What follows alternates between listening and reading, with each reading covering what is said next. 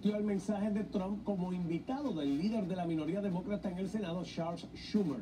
Pero sin embargo, se quedó con las ganas porque Trump simple y sencillamente no dijo nada de Puerto Rico.